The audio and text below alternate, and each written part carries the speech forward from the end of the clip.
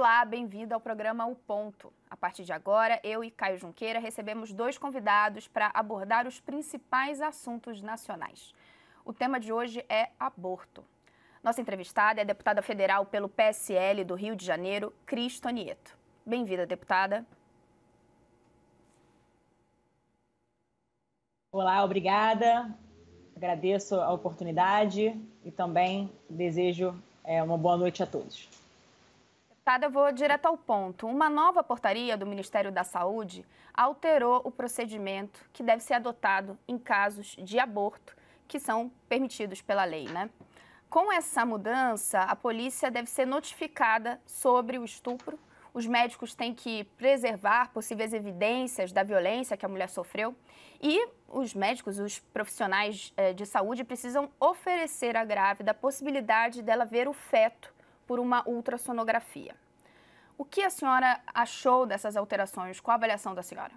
Bem, eu entendo que a gente teve aí um importante avanço, sem dúvida, em especial no combate à impunidade dos estupradores, na medida em que garante, então, a obrigatoriedade da notificação dos crimes contra a liberdade sexual. Então, na prática, eu costumo dizer que essa portaria ela está cumprindo a própria lei que foi sancionada em 2018 que é a Lei 13.718 de 2018, que parece que às vezes as pessoas até esquecem da sua existência. Essa lei, ela tornou os crimes contra a liberdade sexual de ação penal pública incondicionada. E é bom lembrar que antes do advento dessa lei, esses crimes eram de ação penal pública condicionada à representação. Ou seja, como condição de procedibilidade, exigia-se a representação da vítima. Porém, com essa lei 13.718 de 2018 em vigor, hoje nós temos que esses crimes sexuais eles passaram a independer da representação da vítima, o que significa dizer que qualquer um que tenha conhecimento do fato delituoso, ele não só pode, como ele deve levar o fato à autoridade competente. Lembro ainda que no caso dos médicos no exercício da medicina, caso eles tenham conhecimento de crime de ação pública, eles são obrigados a notificar a autoridade competente sob pena, inclusive, de incorrer em contravenção penal, conforme está previsto no artigo 66, inciso 2 do nosso decreto 3688 de 41, que trata das contravenções penais. Inclusive, eu até tenho um projeto de lei que visa tipificar essa conduta como um crime com pena ainda maior e, portanto, inseri-la no Código Penal. Então, entendo sim que nós tivemos um avanço e principalmente no que tange ao combate à impunidade aos estupradores. Deputada, mas é sensato, é razoável, por exemplo, se a gente pegar o exemplo da menina capixaba de 10 anos, né, que ela veja a imagem ali da, da do feto ali é, em gestação na barriga dela? Eu acho que sim. É, na verdade, o que a portaria faz, ela possibilita, ela viabiliza, né, mas vai depender da vítima desejar ou não ter esse acesso a essa imagem. E eu entendo que, uma vez essa pessoa tendo olhado, olhando, observando né, a ultrassonografia, ela pode até desistir de praticar um ato hediondo, como, por exemplo, um aborto. Então, eu acho que é realmente um grande e importante avanço. Deputada, ainda sobre essa portaria, né, porque aconteceu agora, então está todo mundo é, tentando ali avaliar.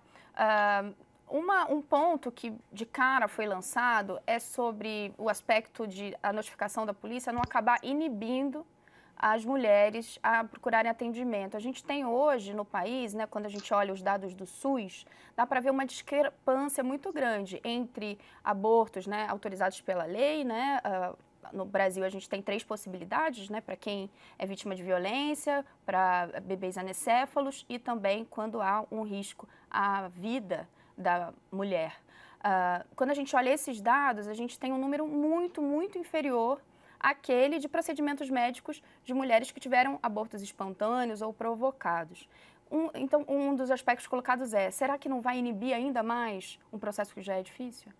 Na verdade, eu até questiono certos dados, porque as fontes que nós tivemos acesso, ou melhor, que nós temos acesso, muitas vezes são fontes que são até enganosas. E por quê? Porque eles levam, sim, muitas vezes em consideração o aborto espontâneo com o aborto provocado. Eles colocam na, como aborto, por exemplo, ah, tantos abortos realizados. Eles levam em consideração e colocam no mesmo balaio tudo, absolutamente. E geralmente quem faz esse tipo de, é, no caso, número, quem coloca né, esse tipo de número de estatística, é sempre um órgão, uma entidade, uma instituição que geralmente é ligada a alguma instituição que realmente tem uma busca pela promoção do que eu chamo de cultura da morte. Então, eu até questiono certos dados. Agora, Mas tem dados mulher, oficiais do né, governo é, também, ela deputado. tem que entender o seguinte.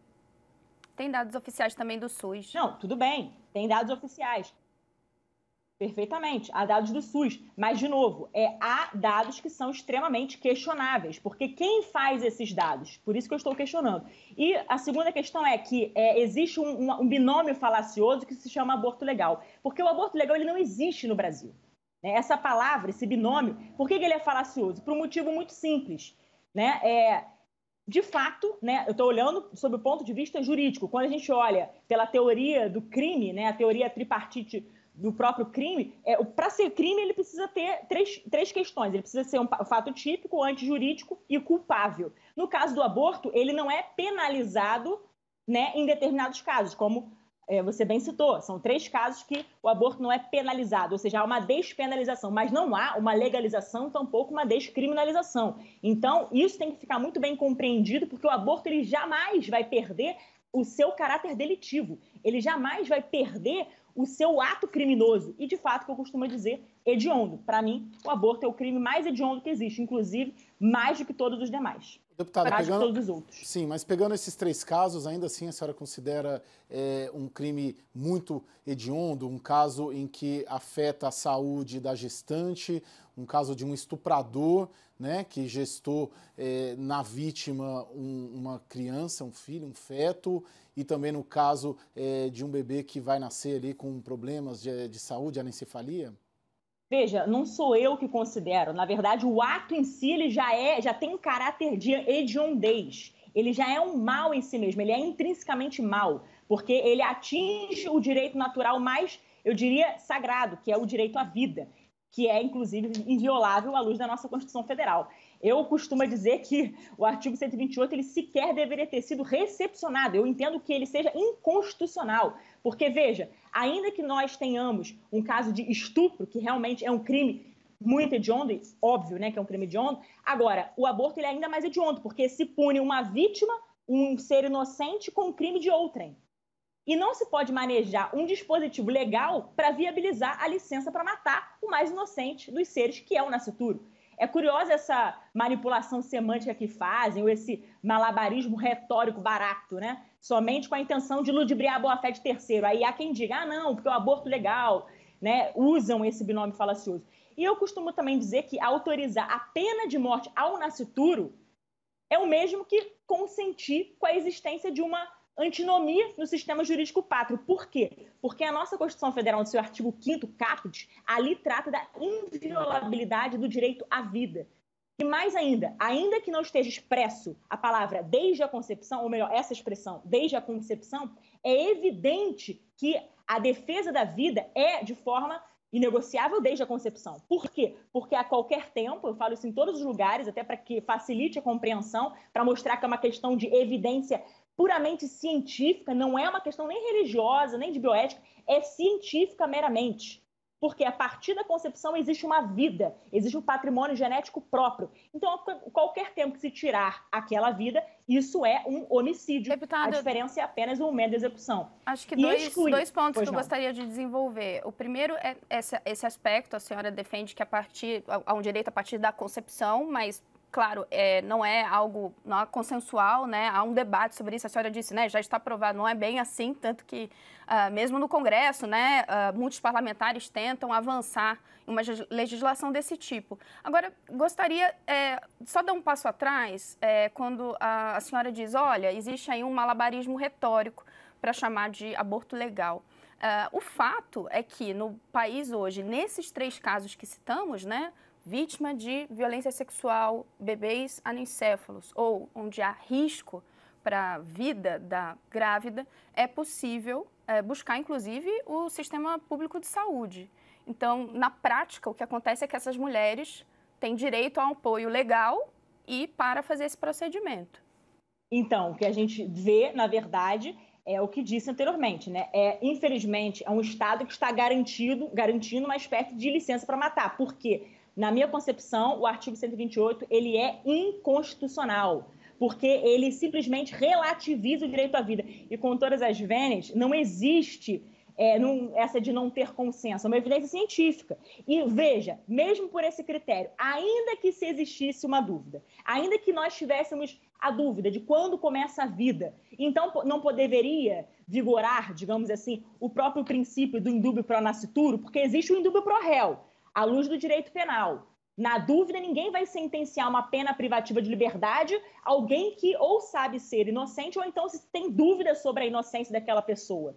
Aí, por que, que um ser inocente, o mais frágil dos seres, que é aquele que habita no ventre da mulher, porque ele vai ser sentenciado à morte sem sequer ter passado por um processo, ele já praticamente foi julgado e sentenciado à morte. Então, ainda que existisse uma dúvida sobre o marco inicial da vida, deveria então vigorar o indúbio pró nascituro para que não se garantisse né, a Mesmo morte de um ser inocente e também para não legitimar grávida. uma carnificina porque a, a, a senhora está colocando Veja, aí, né, que da... existe, seria ali é um assassinato. Bem, se uh, e há um valor na vida né, desse uh, bebê. Agora, qual é o valor da vida da grávida ou que pode morrer, né? Aí é uma escolha difícil, mas o fato é que às vezes isso acontece. Então, na verdade, é, é, a questão é a seguinte: eu vou falar apenas sobre o ponto de vista jurídico, tá? Não entrando no mérito direto da questão. Do ponto de vista jurídico, o artigo 128 ele não tinha razão de existir. Porque mesmo que tenha lá, no inciso 1 do artigo 128, quando há um risco real de vida da grávida, veja, o que nós desejamos? Salvar as duas vidas. As duas vidas são igualmente importantes e ambos têm uma dignidade obviamente, a vida do bebê e a vida da mãe. E a medicina já avançou, então são casos raríssimos quando realmente existe, implica uma espécie de risco de vida para a mulher. Mas vejamos, nessa hipótese, se de fato houver um risco real, não precisaria utilizar o artigo 128, inciso 1 porque o estado de necessidade, que é uma excludente de licitude, poderia ser invocado. Então, não tem razão de ter essa brecha para o aborto, que nós temos no nosso Código Penal, que está sendo legitimado pelo artigo 128 do Código Penal.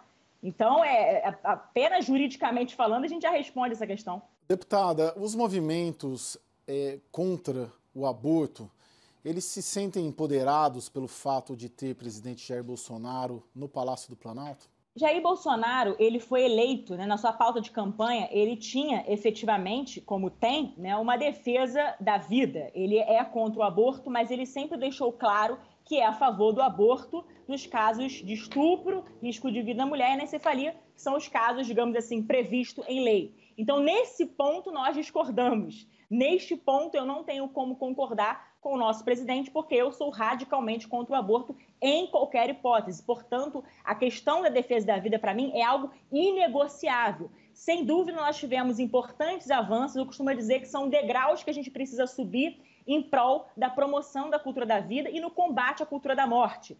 Né? Então, a gente tem degraus para subir. Estamos subindo, sim, sem dúvida, a presença do nosso presidente né, hoje, ocupando um cargo tão importante, e ele tendo um discurso confessamente pró-vida, realmente faz com que nós nos sintamos felizes. Mas eu, particularmente, ficaria ainda mais feliz se ele fosse, de fato, 100% pró-vida. Tanto que a minha blusa aqui né, não deixa dúvidas, 100% pró-vida. Então, se ele fosse 100% pró-vida, eu ficaria ainda mais feliz. Deputada, isso pode explicar um pouco melhor? A senhora falou agora, né? Nós estamos avançando, né? Alguns degraus. Qual é o avanço que a senhora viu para a sua pauta, que é, no caso, que não haja né, nenhum tipo de autorização para que abortos sejam feitos no país? Sim, então eu vou separar duas coisas: vitória de avanços. Essa portaria, sem dúvida nenhuma, é um avanço que é fundamental. Porque, como disse no início, ele garante própria, o próprio combate à impunidade àqueles que são os abusadores. E eu também sou super a favor de endurecer penas. Eu acho que a gente precisa enrijecer as leis penais para que, de fato, a gente combata a criminalidade, a impunidade, que no Brasil a gente precisa, de fato, porque os números eles não deixam né, dúvidas. Então, é, aqui eu gostaria de fazer essa diferença. Então, a, a, própria portaria, né, 1508, que foi revogada, inclusive foi objeto de um projeto de decreto legislativo meu, eu tinha esse projeto para revogar por completo esta portaria, que é o PDL 73-2020, foi protocolado em março desse ano. Veja, ali nós tivemos um avanço. Agora, por que, que eu não posso dizer que seja uma vitória? Porque eu, como radicalmente contra o aborto, para mim só haverá de fato uma vitória cachapante quando, de fato, o artigo 128 for revogado por completo, que também é objeto de projeto meu, né, o, P, o PL 2893 de 2019, e quando todas as normas técnicas e portarias que abrem esse precedente no âmbito do Ministério da Saúde e nos demais ministérios, que se houver, né, de fato, se essas é, portarias, normas forem revogadas, aí nós teremos uma vitória realmente estrondosa para o movimento Pró-Vida. Por enquanto, o que a gente tem são avanços necessários e importantes, né, que são, estamos, no caso, subindo, subindo degraus. Deputada, é, ainda nessa linha, a senhora falou, né, avanços que tivemos é, no sentido de pressionar para que haja uma reforma até nas leis, é o que a senhora faz no Congresso Nacional. Agora, o que a gente viu nesses dias, esse caso, o Caio comentou há pouco, né, da menina do Espírito Santo, de 10 anos, que uh, foi ali, teve autorização para fazer um aborto, a gente viu uh, cenas até quase de violência, né, de pessoas protestando, né, do movimento contra o aborto, pró-vida. Uh, gostaria que a senhora elaborasse um pouco mais. A gente estava falando ali de um caso coberto pela lei, então não havia nada de ilegal. é o caso de fazer uma, uma militância, uma manifestação, quase tentando impedir que a lei seja cumprida? O direito de alguém? Voltando a dizer que o aborto ele é crime sempre. Ali subsiste a prática delituosa, a prática delitiva, ela subsiste mesmo nessas hipóteses do artigo 128 do Código Penal. Como disse, ele pode ser despenalizado, mas ele continua sendo crime. E no que tange às manifestações livres das pessoas, eu acho que as pessoas elas têm essa liberdade, da mesma forma que o movimento pró-aborto coage muitas vezes as pessoas para que abortem, que a gente sabe que isso existe, tanto que, engraçado, que só falam né, dos pró-vida que estavam lá. Mas e as abortistas que estavam lá? E aquele, aquele pessoal do movimento pró-aborto que estava lá tentando chancelar nessa né, prática criminosa, etc. Mas foram lá, isso, aparentemente. Né? Só quem é violento, Sim. digamos assim, quem protesta. Mas eles foram lá em resposta à manifestação é, do grupo contra o aborto, né? Aí que teve uma, uma movimentação, não foi isso? Quem foi na porta da. Quem foi Mas na a porta. manifestação que estava vendo. Isso, deputado, perdão. Quem foi na porta do hospital primeiro e se reuniu rezando foram é, as pessoas do, favoráveis, contrárias ao aborto. E em resposta a essa manifestação, que o grupo é, favorável ao aborto que se é, aglomerou lá posteriormente. Então, Caio, perfeitamente, como você bem disse, as pessoas se reuniram lá livremente para, como você falou, rezar. Então quer dizer que agora querem criminalizar o ato de manifestar a fé publicamente, de manifestar é, que é pró-vida. Então, assim, pelo amor de Deus, eu acho que é uma questão simples. Ali as pessoas estavam, do que eu tenho conhecimento, as pessoas estavam pacificamente se manifestando. Da mesma maneira que depois chegaram aqueles que são os defensores do aborto e contestaram, também livremente. Eu contesto, mas ali ambos estavam em liberdade, né, defendendo suas bandeiras, o que eu acho absolutamente legítimo e democrático, inclusive. A senhora entende que há, nesse momento, no Congresso, especialmente na Câmara dos Deputados, uh, apoio para aprovação de projetos como o que a senhora já propôs, né, de restringir o direito ao aborto? Primeiro que aborto não é direito. A criança é sujeito de direitos no ventre da sua mãe. E isso, se a gente olha à luz do próprio Código Civil, artigo 2 está salvaguardado os direitos do nascituro, como, por exemplo, o próprio direito de herança. Então, não se tem direito de matar a quem quer que seja, muito menos sem passar por um processo, de fato, pelo devido processo legal, como manda a Constituição. Então, ninguém teria direito de matar, isso é fato né? Salvo a legítima defesa, que é uma excludente de licitude, né? Que nem é uma licença para matar, é uma situação que acontece para preservar a própria vida ou a vida de terceiro. Então não existe direito ao aborto, como já esclareci aqui. Agora, é sobre os avanços ou então a, a possibilidade de se avançar um tema como este, né? Um projeto desta natureza no Parlamento brasileiro. Veja, no Parlamento brasileiro nós temos é, é um ambiente plural, né? Ali é uma arena de debates, um ambiente absolutamente democrático, em que tem é, partidos de diversos espectros ideológicos, militam por várias causas. Então, nós temos, por exemplo, uma bancada pró-vida. Agora, se nós temos caminho, ou então se nós conseguiríamos né, é, avançar com uma pauta como essa para revogar o artigo 128 na atual conjuntura, eu particularmente não tenho como dar essa resposta, porque aí dependeria dos pares, dependeria da bancada Provida se posicionar também pela revogação do 128. Porque, infelizmente, o que eu vejo é que há providas até o nível 2 ou até a página 2. Né? Aqueles que se dizem defensores da vida, mas são concessivos, ou seja, consentem com a legislação da maneira que está. É o que eu digo, ser pró-vida tem que ser de forma inegociável e até mesmo intransigente no bom sentido da palavra. Nós não podemos negociar com aquilo que de fato para nós é muito caro. A defesa da vida é desde a concepção até a morte natural, então passando por todas as fases da vida. Então, para quem diz que pró-vida é só é para o nascimento, essa pessoa também está equivocada. Que a gente defende a vida do bebê nascituro e, obviamente, em todas as fases da vida, na infância, primeira infância, enfim, juventude e assim por diante. Todas as vidas importam para nós, sem seletividade.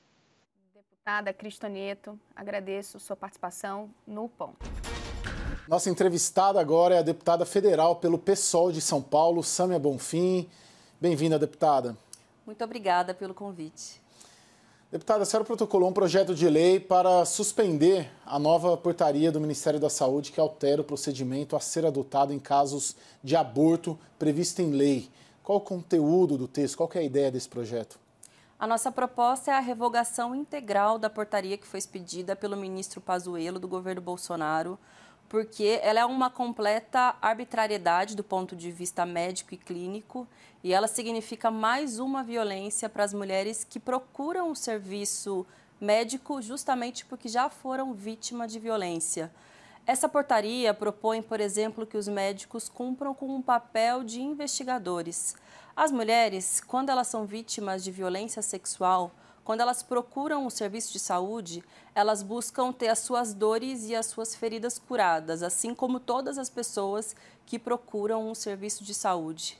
Mas se elas chegarem lá e tiverem que passar por uma série de perguntas, isso é um método para desestimulá-las e terem medo de procurar o serviço médico ou o hospital.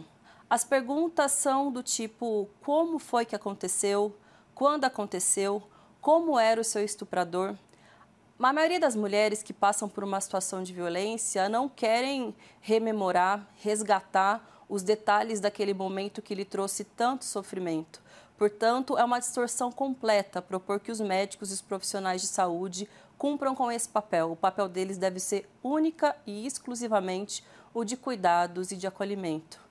A portaria também sugere que os profissionais de saúde possam fazer ultrassom, oferecer para essa mulher que foi vítima de violência fazer ultrassom antes do procedimento legal do aborto. Não há também nenhuma motivação clínica ou médica para isso. A única motivação, no nosso ponto de vista, é também gerar um constrangimento sobre a vítima, para que ela observe o feto e pense novamente se ela quer fazer a interrupção da gravidez. Se a mulher procurou o serviço de saúde, é porque ela já tomou a sua decisão e essa decisão ela é legal, ela é amparada por lei no Código Penal desde 1940. A portaria também sugere um termo de consentimento sobre os possíveis riscos desse procedimento de abortamento legal. Mas as estatísticas do SUS mostram que somente 0,1 em cada 100 mil casos de interrupção de gravidez no SUS geram algum tipo de complicação grave. Então, se não há de fato complicações graves ou gravíssimas para a grande maioria das mulheres que fazem a prática do aborto legal no Brasil, por que colocar esse elemento? Por que criar esse termo de consentimento? Deputada, queria retomar um dos pontos que a senhora colocou, que é da portaria trazer esse procedimento do médico questionar a, a vítima e também avisar a polícia há um argumento de que isso ajudaria a identificar os estupradores. Como a senhora vê? Eu vejo que o serviço de saúde tem um papel muito diferente de um centro policial. São cerca de 70 mil estupros por ano no Brasil e as mulheres e meninas que são vítimas de violência sexual merecem ter algum tipo de justiça, ou seja, É importante que o Estado brasileiro identifique quem são esses agressores, quem são esses estupradores, mas não é no hospital que esse procedimento deve ser iniciado. Ali é um espaço de cuidado, de acolhimento e do exercício de direitos. Somente depois desse primeiro cuidado, dessa possibilidade de ter o um mínimo de paz e dignidade na sua vida, é que a mulher tem o direito de, caso ache pertinente, levar adiante a denúncia. E por que eu digo caso ache pertinente? Porque muitas vezes rememorar o caso de violência, dar detalhes e, enfim, muitas vezes apresentar o agressor para o policial significa, primeiro, uma nova exposição àquele momento tão traumático na sua vida, mas também muitas vezes a possibilidade de permanecer em insegurança. Afinal de contas, boa parte dos casos dos crimes são cometidos dentro das residências e existem mil motivos que levam as mulheres a não protocolarem a denúncia. O principal deles é porque elas não se sentem muitas vezes acolhidas nas delegacias. Então, se os hospitais se transformarem também nesses espaços de não acolhimento, vai significar um maior número e um maior nível de vulnerabilidade para essas mulheres. Deputada, os movimentos contrários ao aborto se sentem de alguma maneira empoderados pelo presidente Jair Bolsonaro, pelo fato de ter o presidente Jair Bolsonaro na presidência da República? Sem dúvida, o presidente Bolsonaro nunca negou que ele tem isso como agenda, retroceder nos direitos sexuais e reprodutivos das mulheres brasileiras. Inclusive, boa parte daquelas pessoas que estavam presentes no hospital em Recife, violentando a equipe médica e a menina, a criança de 10 anos, que buscou o serviço legal de abortamento, elas são ligadas à ideologia do presidente Jair Bolsonaro, são ligadas a alguns parlamentares e a alguns de seus apoiadores. Então, eu vejo essa portaria do ministro Pazuello como a escolha de um dos lados dessa história tão traumática que sensibilizou a sociedade brasileira. Ele está do lado daqueles que optaram por fazer com que essa menina passasse por uma nova violência e não do lado daqueles que estão muito preocupados com a falta de acolhimento de tantas mulheres e meninas brasileiras que são vítimas de violência sexual no Brasil. A senhora entende então que esse movimento contra o aborto, ou como eles chamam pró-vida, está mais estruturado agora do que já foi e ele ameaça, por exemplo, uh, o que a legislação já permite? Como a senhora sente isso no Congresso? Essas pessoas estão fazendo uma prática que é contra a legislação brasileira. Primeiro, é importante que seja dito: desde 1940, o aborto é permitido no Brasil em caso de violência sexual. Esse sentimento mais conservador e eu diria reacionário, ele sempre foi presente na política brasileira. Mas a partir do momento em que existe uma autoridade da República, a maior delas, que coaduna com essa posição, sem dúvida essas pessoas se sentem mais encorajadas para emitir a sua opinião.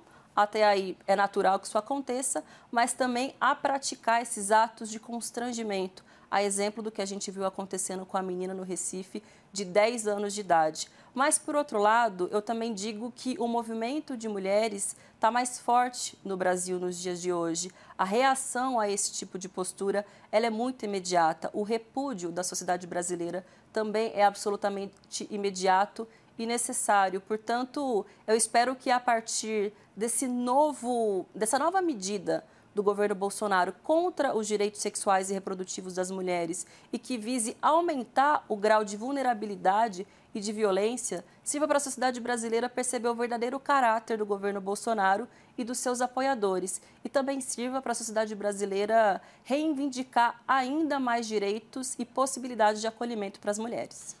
Agora as pesquisas, pelo menos todas as pesquisas que eu costumo ver sobre aborto, indicam que a maior parte da população brasileira é contrária ao aborto. Qual leitura a senhora tem dessas pesquisas? Boa parte dessas pesquisas elas são feitas sob uma ótica que questiona se as pessoas são favoráveis ou contrárias ao aborto. E é uma pergunta, a princípio, já bastante constrangedora, porque as pessoas sabem que é uma questão ética, é uma questão moral e de foro pessoal, que inclusive envolve uma série de questões religiosas. No meu ponto de vista, a pergunta deveria ser se as pessoas concordam que a mulher que praticou aborto deva ser presa, e se as pessoas concordam que as mulheres que praticam aborto sigam tendo esse grau de vulnerabilidade tamanho que faz com que o Brasil seja um dos que mais perdem mulheres em função, em função do aborto clandestino. Mulheres pobres, mulheres negras, mas também mulheres comuns, como que todos nós conhecemos. Se você for ver uma pesquisa feita pelo ANIS, que é o Instituto de Bioética, mostra que 80%, mais de 80% dessas mulheres têm religião, a maioria delas é católica, elas já têm um filho, elas são casadas. Ou seja, nós estamos falando de mulheres comuns, donas de casa, mães de família, que optam por interromper a gravidez, não importa qual é o motivo, importa que elas não têm condições físicas, psicológicas, pessoais para levar adiante a gravidez. Mas é importante que seja dito: essa portaria se trata de uma legislação de 1940, do aborto que já é previsto como legal no Brasil para mulheres e para crianças. E é importante que seja dito: mais da metade das vítimas de violência sexual no Brasil são crianças, e é contra elas que essa portaria se apresenta. Deputada, estamos falando aqui hum, quase todo o debate, por enquanto, foi sobre os casos de aborto uh, que já estão previstos na legislação.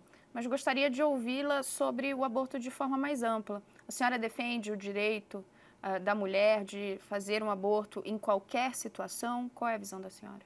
A legislação brasileira é uma das mais atrasadas no mundo no que diz respeito à possibilidade de interrupção da gravidez.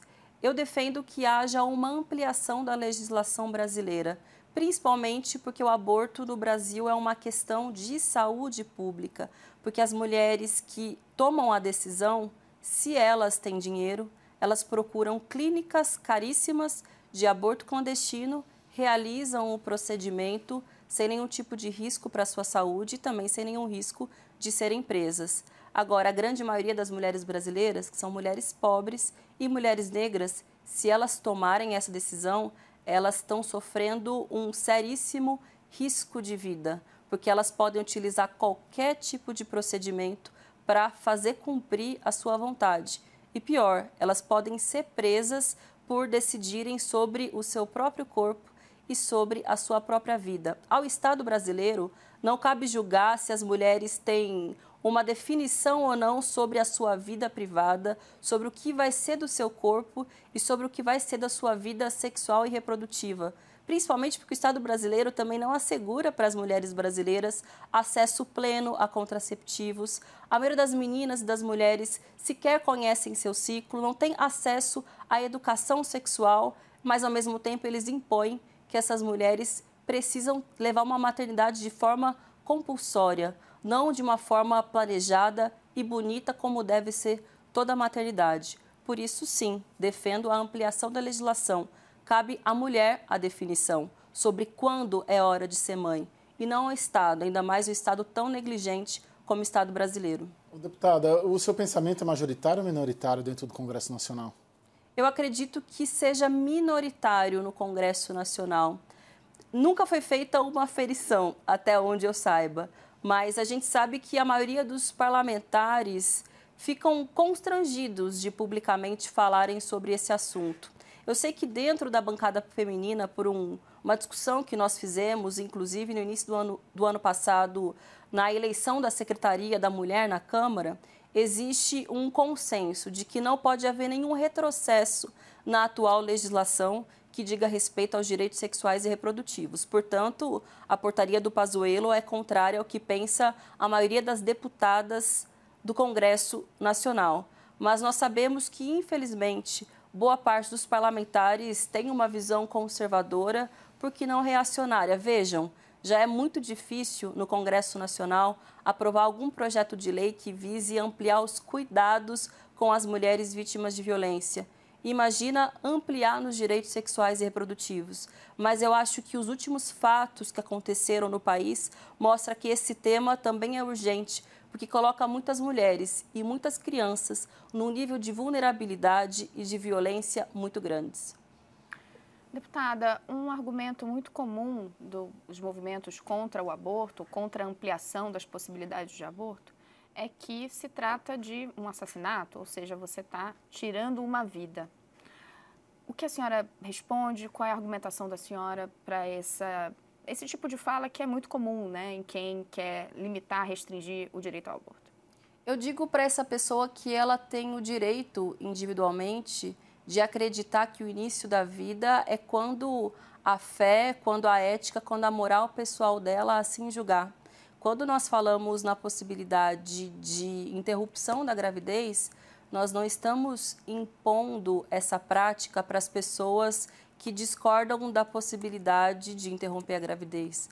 A gente está falando que para aquelas mulheres que assim julgarem necessários e que têm uma outra concepção a respeito da forma como a vida humana se desenvolve, é, é para essas mulheres que o aborto legal se apresenta como uma possibilidade.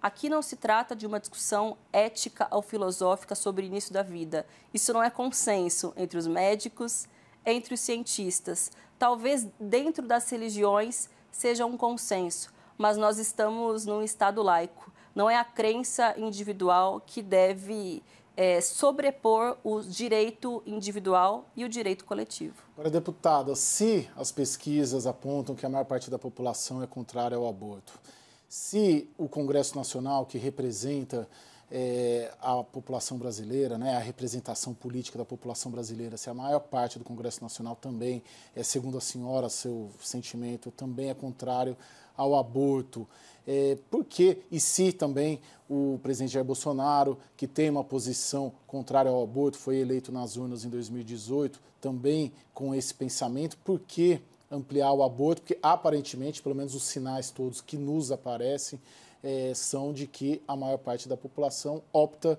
é, por uma restrição ou pelo menos por uma manutenção das regras atuais. Primeiro, porque as mulheres estão morrendo. As mulheres morrem porque quando elas tomam uma decisão sobre a própria vida e sobre o próprio corpo, não há Jair Bolsonaro, não há Estado, não há sentimento conservador na sociedade que vá fazê-la mudar de ideia. Mas segundo, porque essas pesquisas também são enviesadas, elas abordam a opinião da sociedade brasileira sob uma perspectiva que não deveria ser a correta. Nós queremos saber se as pessoas concordam com a atual legislação. A atual legislação diz que essas mulheres podem ser presas ou que elas estão relegadas à própria sorte e, portanto, por isso mesmo, elas se machucam ou elas morrem. A gente precisa encarar o Estado brasileiro como um garantidor de direitos e não como um impositor de uma moral específica de quem acha que as mulheres buscam esse tipo de prática porque não se cuidam ou porque gostam. As mulheres que praticam aborto não gostam de cometer aborto, elas fazem isso porque foi a última opção, inclusive, que o Estado brasileiro lhes ofereceu a partir de uma série de violações a contraceptivo, a educação sexual e a exercer a sua sexualidade de forma justa e de forma livre e assegurada, com direitos. Deputada, o Caio trouxe uh, a questão da ascensão do presidente Jair Bolsonaro, do bolsonarismo, né, como um fator que tem impulsionado esse debate, esse essa argumentação contra o aborto, mas gostaria de ouvi-la sobre o papel da esquerda.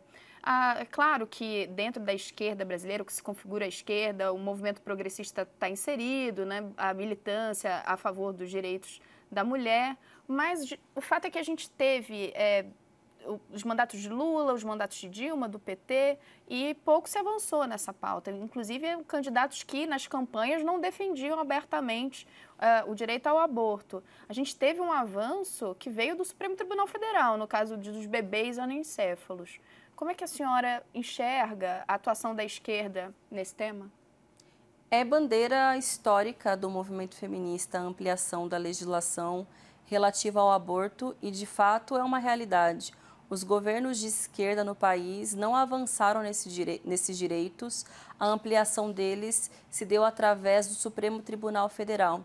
Isso porque há, de fato, muita pressão de alguns setores mais fundamentalistas e conservadores e que, inclusive, tiveram espaço dentro desses governos de esquerda no, no país mas agora é hora de apresentar outra perspectiva sobre os direitos sexuais e reprodutivos, ouvir mais o que o movimento de mulheres tem a dizer e perceber que se trata de uma questão de saúde pública. É evidente, isso não é bandeira do governo Jair Bolsonaro, mas ela se torna cada vez mais uma bandeira das mulheres brasileiras que percebem que são donas do seu próprio corpo e que falta para elas acesso a uma série de direitos e de garantias e que, portanto, seguem em luta para que possam ser donas do seu próprio destino e que para não sejam para que não sejam mais violentadas pelo Estado. Deputada Samia Bonfim, nós agradecemos muito a presença da senhora aqui no ponto. Muito obrigado. Obrigada, eu que agradeço a oportunidade.